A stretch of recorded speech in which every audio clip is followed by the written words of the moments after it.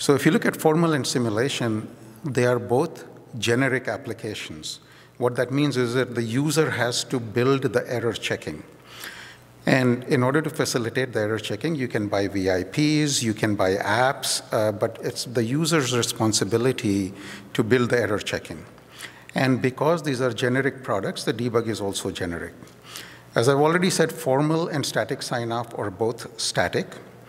On the other hand, static sign-off is an, uh, includes complete and customized error checking inside in the context of the product or the tool. And as a result, the debugging is also customized to the application at hand. Here's a very simplified model on how we can evaluate the merits of each of these approaches. So first metric says the analysis always finishes, which means that the method completes in a practical time frame. The metric on the left here says that all the violations flagged by the analysis or the technique are definite design failures. And the third metric says that for the targeted checks, 100% of the failures are found, which is another way of saying that you can prove the absence of any errors in the design. Okay? So these are the three dimensions on which we can evaluate uh, the various methodologies. So this is the ideal scenario. We really want a verification methodology that, that rates very high on each of these metrics. Okay? Uh, and so ideal scenario, unfortunately, there is no ideal methodology. So if we look at the characteristics of various methodologies, let's look at simulation first. Uh, we know that simulation finishes.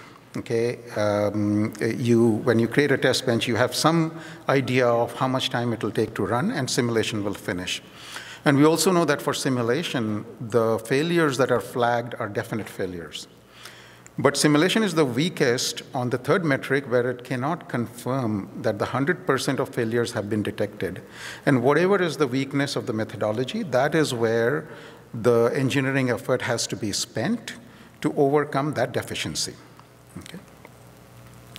Now let's look at the characteristics of formal methods. Uh, we know that in formal analysis, if uh, a failure is flagged, it's a definite failure. At the same time, formal analysis is very capable of uh, uh, uh finding 100% of the failures, and that is to say, it, it is capable of proving correctness.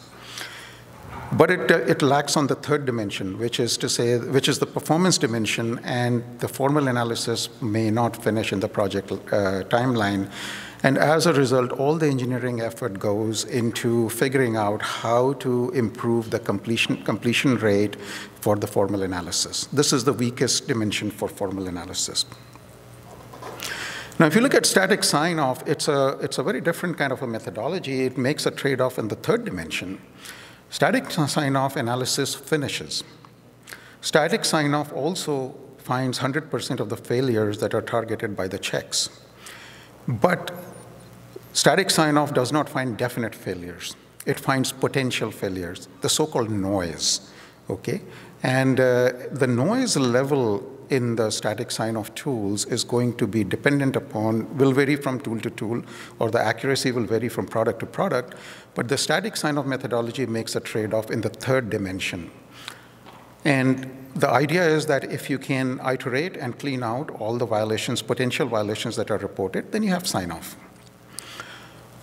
So, so this is the uh, characterization of the three methodologies.